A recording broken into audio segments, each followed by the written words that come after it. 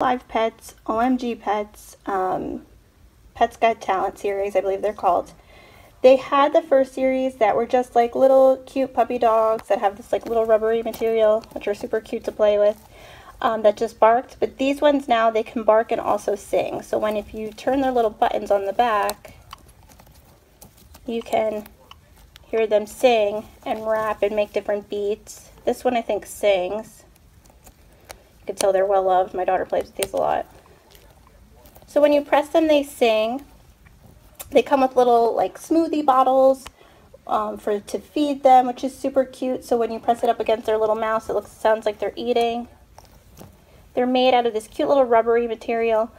The only thing I will say is the paint seems to chip a lot. These ones are better with the chipping, but I noticed the first um, set that they came out, I guess the first series, they chipped really easily and my daughter would get really upset because some of their cute little features would chip off. But these ones I think they must have done something differently or whatever because I don't see the same issues I did with the first series.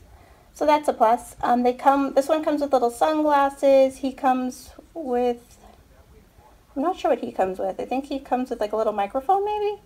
Uh, but they're so much fun. They have other different pets. I think they have a bunny one. Um, I've seen bunnies, dogs, bunnies and dogs I've seen. I'm not sure if I've seen cats or any other animals, but they're super cute and pocket sized so they could bring it with them everywhere.